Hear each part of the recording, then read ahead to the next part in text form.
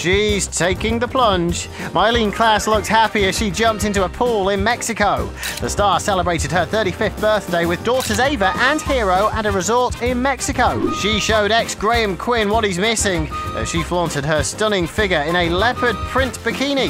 Myleene also took her children jet skiing and parasailing on the trip. Looks like she's bouncing back after her relationship troubles.